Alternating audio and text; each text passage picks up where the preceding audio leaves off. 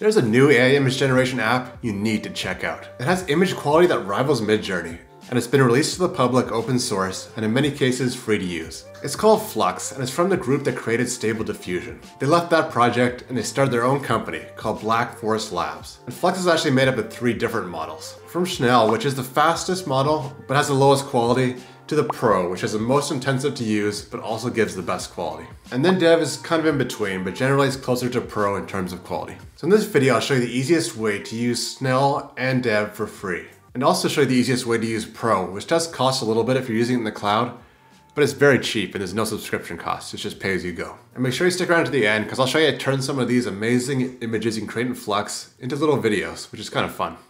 All right, let's go. So the first thing you want to do is make sure you have at least a free account set up on Hugging Face. And I'll put links to this and everything else in the video in the description. Next, you want to go to Spaces. And you want to look for the ones that say Flux.one. So if you scroll down to the all running apps and trending first section, these are two popular ones. And we see here, this is that fast one, that Schnell model I was talking about. The one I'm going to use though is the dev one. So look for Flux.one brackets dev. When you open that up, you're to see it says running in zero. And what the zero GPU is, is the community GPU. This is like the free tier Hugging Face. So let's put in a prompt. Let's just try a tiny astronaut hatching from an egg on the moon. And because we're using the free tier and the community GPU, it does take a while. So every image generation will take about 40 seconds or so. But I'm not to complain about free.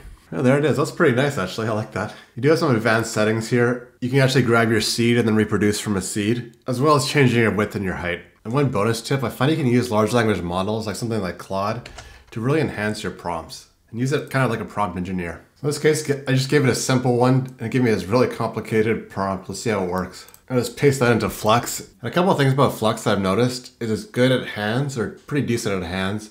It's also pretty good at text and taking what text you give it and putting it in the image. And I find it works better if you put quotes around it. So in this case, it says, subscribe to AI Unleashed. And there we go, actually, I got it perfectly. Really nice text here. I love the neon here. I, would definitely just throw this just as is into a newsletter or something. even the hands are really good. He's got the four fingers there. Yeah, super impressed with this one. So now let's give that big model a try, the Flux Pro one.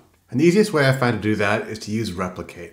Replicate's basically a cloud provider that rents out GPU time, so you can run all sorts of AI models on here. To run Flux Pro, you have to put in your credit card, and it costs a couple of cents an image, but there's no minimums or subscriptions or anything, so it's kind of nice like that. So for the prompt, I went to Claude again, and I want a stock image from my Lucky Life Insurance company. So it gave me back this pretty complicated and detailed prompt, and let's see how this works. That is pretty awesome. I mean, the text is a little bit blurry and kind of a little bit off, but the family is really good.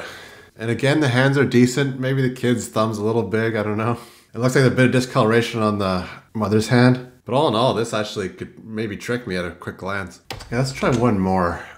And this one I want to turn into a video after. So I'm just gotta get a single presenter. All right, so there's this one. I actually like that last one a little bit better. For this one, I almost find this looks like a wax museum statue somewhat, but it's still pretty good. So let's just try it out. Now to turn the images out of Flux into videos, you can use a tool called Runway. It has a generous free tier. If you just go down here and say text image to video, and then once you go in there, you just upload the image, and then you can just generate a little four second clip. And here's what it gave me here for this one. I like the fact that it actually picked out the person in the background here, animated that a little bit. Even this big screen behind the presenter, it has some emotion there as well. And I mean, you're not gonna trick anyone, but it's kind of cool to start generating these things. And it's just gonna keep getting better from here. So in this channel, I like to cover more business use cases. And I think we're really just scratching the surface of what AI can do for that. Even you saw here, some of these images you could use for stock photography, and maybe even make some logos and things like that. But there's still a long way to go for more advanced marketing material, videos, things like that. So make sure you subscribe to the channel if you want to stay up on the latest. I hope you're having an amazing day. I'll talk to you in the next one.